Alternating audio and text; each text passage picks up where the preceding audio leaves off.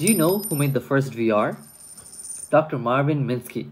He was a Jewish scientist born in 1927 in New York City.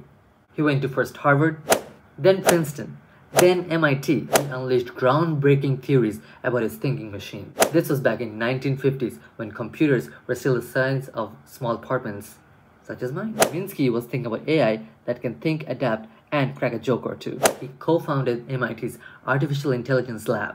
That's where he created the first ever VR headset. At that time, a VR was called a head-mounted graphical display. He was also involved in Hollywood, helping the director Stanley Kubrick with the movie 2001 A Space Odyssey. Even though in Wikipedia it's mentioned that in 1969 he won the famous prestigious Turing Award, it's also mentioned that his mother was a Zionist activist. 2016, Minsky finally died of brain hemorrhage